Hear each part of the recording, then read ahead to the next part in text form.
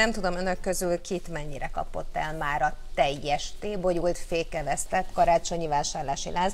Mi most minden esetre pont arról beszélgetünk, hogy hogyan lehet egy picit lenyugodni ebben, és egy picit másképp eltölteni a karácsonyi készülődést, vagy hát a karácsonyig lévő időt, és két vendégünk is van a témában. Tar Judit, aki a Falk Miksa Egyesület egyik vezetője, és Antal Latina, aki a BKK bevásárló és tematikus utcáknak az igazgatója. Jó reggelt, köszönjük, hogy boldog névnapot kívánok, jó, jó reggelt, reggelt kívánok. Boldog névnapot, így van. Csak Judit vendégünk volt.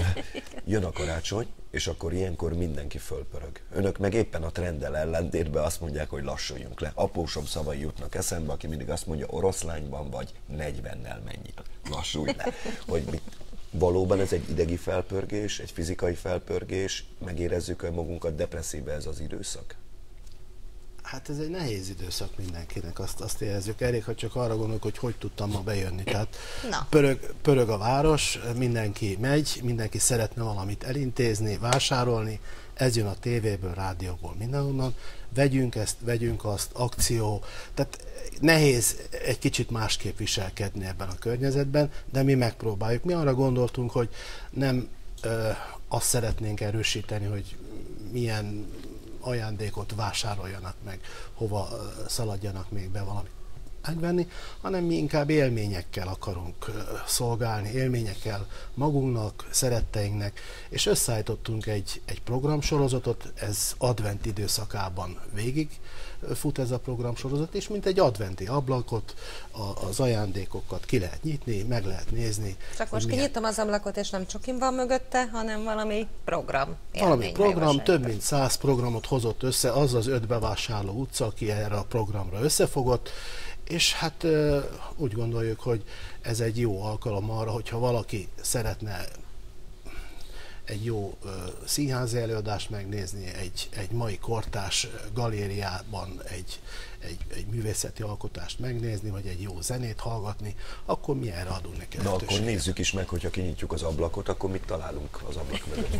Hát valójában öt utca, az öt utca az a Bartók Béla út, a Rádai utca, a Király utca, Kultúnió, a Falkmiksa utca és a Fashion Street. És hát itt aztán tényleg azt mondanám, hogy idézhetnék én magam részéről a Falkmiksa utcából az aukciókat, a galériákat ajánlanám, illetve tárlatvezetéseket, kisebb kamarakiállításokat, a többi helyen viszont, eh, ahogy Attila említette, színházi, zenei programok, eh, de nem csak ezek vannak, hanem az összefogásban mi úgy gondoltuk, hogy eh, legyen egy kis játék is, és az öt utcát összekapcsolva vannak pontok, ahol lehet pecséteket gyűjteni.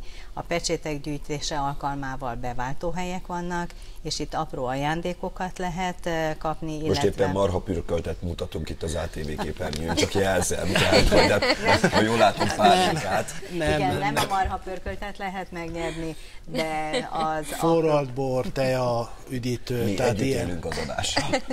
Antal Attila kezében egy teljes menetrend van. Igen, igen, tehát így Hol néz ki. tudom megnézni, hogy mikor, hova tudok elmenni, mit láthatok, Hát mit először is el kell, el kell látogatni ezekbe az utcákba, tehát a, a Rádai, a Bartók Bél, a, a, a Fashion Streetre, a Falk Miksába, Király utcába, és ott lehet találkozni ezekkel a programhelyekkel, ahol ki vannak jelölve e, ilyen kis e, logóval lehet a, a, az utcákban megtalálni. Ja, igen, valamennyire azok, talán akik csatlakoztak. Akik csatlakoztak. Itt van egy, egy program sorozat, ami hát egy eléggé e, tartalmas, elég széles skálán van, mindenki tud belőle Na, én, én mazsolázok belőle. Addig pedig én nagyon gyorsan megkérdezem, amíg Judit átfutja, hogy ugye a budapesti karácsonyi vásár és ez az advent időszak a kiemelt turisztikai látványosság egész Európában és a világról, és nagyon-nagyon sokan jönnek hozzá.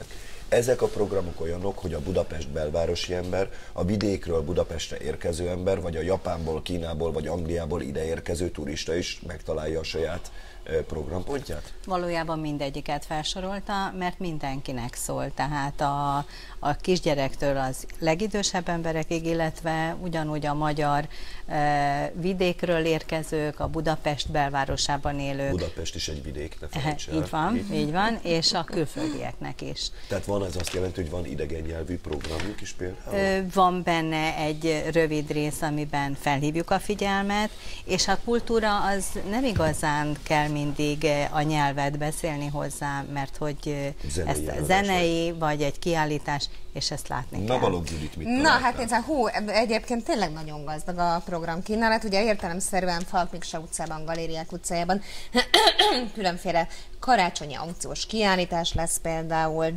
de lesz hadikirodalmi szalon, Pendragon legenda estéje, Szerbantar este, nagyon sok minden, tényleg Szakcsilakatos Bélának lesz esje, Gerendás Péternek, de lesz például Frida Kahlo balladája, színházi előadás. Hogy állt össze ez a program? Mennyire volt nehéz kiválasztani, vagy egyáltalán mi az, amivel megpróbálják lekötni az embereket, meg felkelteni az érdeklődésüket? Hát ugye az, a, az az érdekesség, hogy ezek a programok léteznek egyébként. Ja, most csak egy sorba rendezték. De ezeket Aha. most összekötöttük, összecsomagoltuk, adtunk neki egy keretet, adtunk mellé egy, egy kis játékot, egy kicsit probótáltuk, és hát fölhívtuk a figyelmet, hogy a rohanásban ezeket is lehet választani, és az előbb ugye, hogy nemzetközi, mennyire nemzetközi. Hát például hogy a, a, a, a, Deák Ferenc utca, a Fashion Street kivilágítása, ami egyébként egy fantasztikus, az nemzetközi, ahhoz nem kell semmilyen nyelven beszélni, vagy egy, egy harangjátékot szombat délőtt megnézni a Madács téren, ez semmilyen nyelven nem kell Amit tudni. most itt Judit a kezében tart, ez azt jelenti, most értem, tehát sok-sok program, és most egybe tették.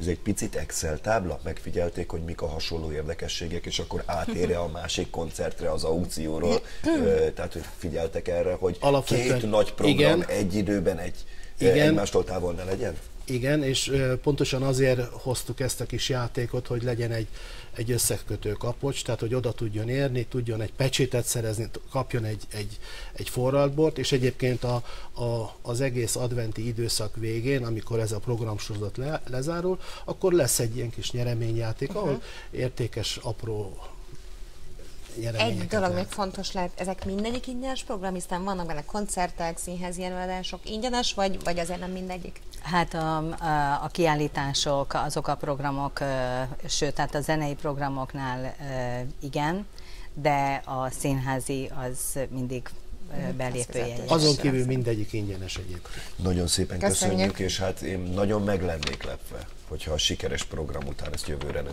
csinálnák meg 6 utcában, 8-ban, 15-ben, majd meglátjuk, mi lesz. És az egész városban. És az egész városban, aztán az egész országban, mert tudja, Igen. nekem az a 80 százalék nagyon-nagyon fontos, aki nem Budapesten lakik. Köszönjük szépen, Köszönjük, hogy itt voltak. Hogy itt voltak.